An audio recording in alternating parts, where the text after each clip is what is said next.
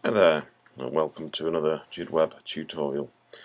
Today's tutorial how to put your black point and your white point in the correct places.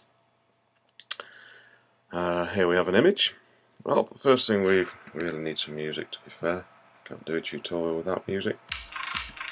There we go. Right, what have we got here?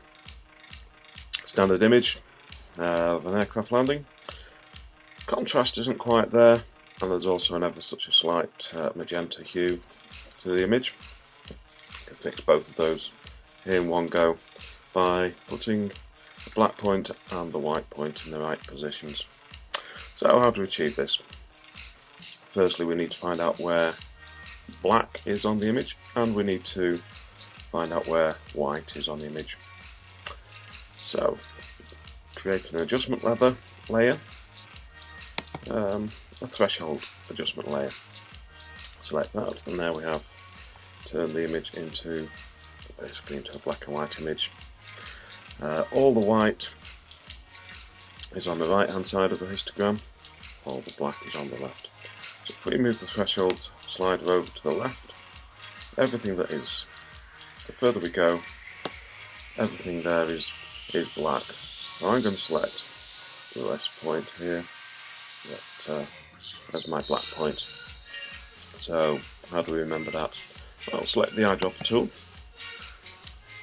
hold the shift button down and click and there you've got a marker point number one that will be our black point. Now we need to find the white point. So just grab hold the slider, drag it all the way across to the other side uh, we have a few points there we can select. We'll pick that one there. Again, select the eyedropper tool, hold the shift button down and click and there's point number two. That is our white point.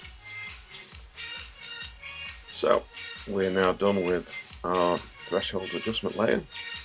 So we'll chuck that in the skip. And What do we do with those two points now? Well, you can use either your layers adjustment, uh, uh, an adjustment level, or a curve adjustment. I will use curves. How do we do it? Three eyedroppers here, black, grey and white. So select the, the black eyedropper, go to your black point and click it. And go to your white point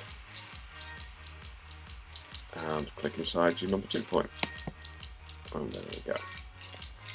Now, so a lot of people have asked me how do I get rid of those points um, once they're there. Well, quite easy. Select your eyedropper tool, go to your point, hold the shift button down, and just drag it off your image, and it's gone. Do that again. Hold the shift button down, click and drag, and you've got rid of your eyedroppers. Now then, let's have a look and see what we've actually done. The image now looks good, the colours look right. That's without, lacking in contrast, magenta hue, and with, and oh, there we go. Colour correction and contrast adjustment all in one easy step. Thanks for watching, catch you the next time.